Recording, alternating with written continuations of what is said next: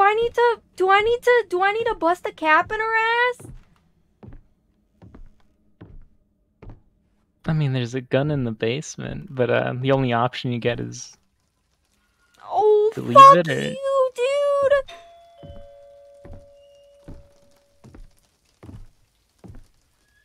Ah! Okay.